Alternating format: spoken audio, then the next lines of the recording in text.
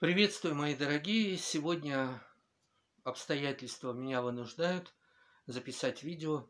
Надеюсь, я вам не сильно помешаю.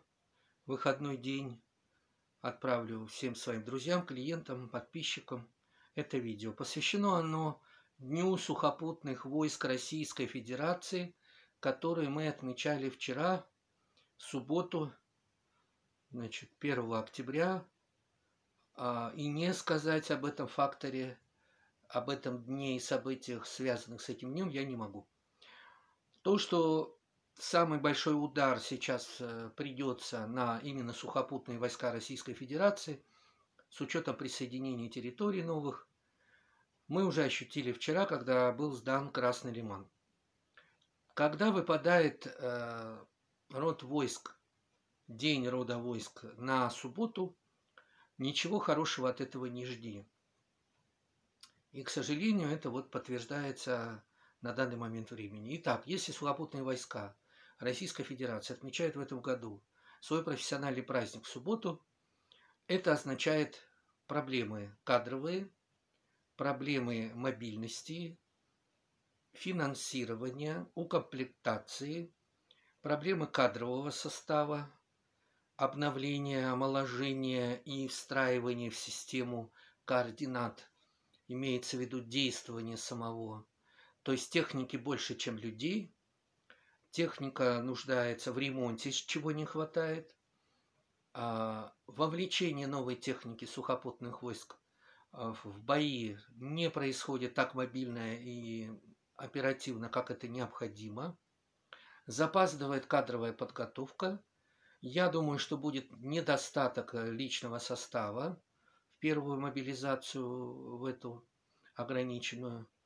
И потребуется в скором времени вторая мобилизация по части вот технарей, которые управляют и способны управлять техникой. Всей сухопутной техникой Российской Федерации Вооруженных сил. То есть проблемы сухопутных войск Российской Федерации в субботний день четко видны, очевидны, скрывать это не нужно, проблема есть. Значит, соответственно, в течение года, с 1 октября 2022 года по 1 октября 2023 года, сухопутные войска Российской Федерации будут медленно, постепенно раскачиваться и переходить в стадию наступления массированного, э, эшелонированного, значит, масштабного фронтального наступления, медленного. Самый критический период э, по дате, это можно сказать, это первые три месяца. Весь октябрь, весь ноябрь и весь декабрь. Вот это критический момент наших сухопутных войск Российской Федерации.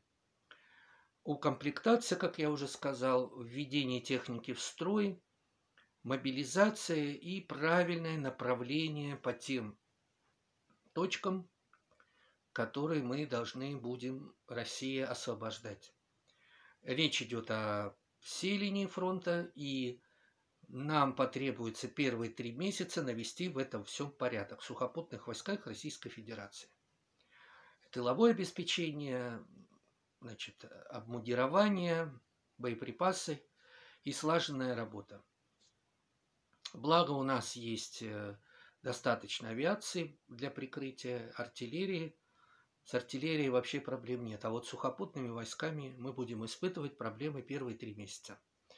Значит, еще раз, весь октябрь, весь ноябрь, весь декабрь. И только с декабря, как эти три месяца застойных заканчиваются субботнего года для сухопутных войск Российской Федерации, мы начнем движение – и вот э, с конца декабря, в декабре уже будут какие-то результаты, мы двинемся вперед. И это будет такая массивная, волевая, очень сконцентрированная атака, подавляющая все, что впереди находится. То есть наши успехи должны быть с декабря месяца и дальше по кругу до октября 2023 года. Вообще в субботний год определяются все проблемы, настоящие истинные проблемы, реальные, без прикрас, в той или иной системе власти, госуправления, рода войск и так далее. И вот если твой род войск, значит, встречает профессиональный праздник в субботу, значит, в этом роде войск накопились многолетние застарелые проблемы, которые надо оперативно решать. Сюда входит самоуправление войсками, мобильность, оперативность, объективность, реальность картины, без прикрас. Значит, э, как я уже сказал, кадровый состав, значит, и вот эта сплоченность, то есть распределение верное, правильное всей техники и всех людских ресурсов по тем точкам, которые должны быть.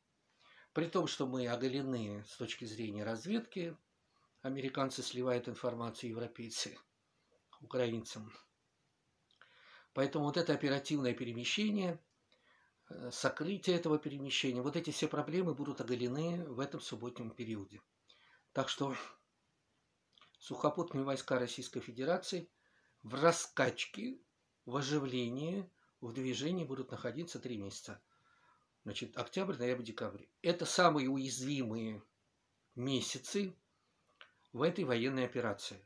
То есть украинцы и НАТО могут в эти три месяца завладеть не только Красным Лиманом, но еще некоторыми населенными пунктами и продвинуться вглубь уже нашей обороны. То есть мы обороняем, обороняемся сейчас.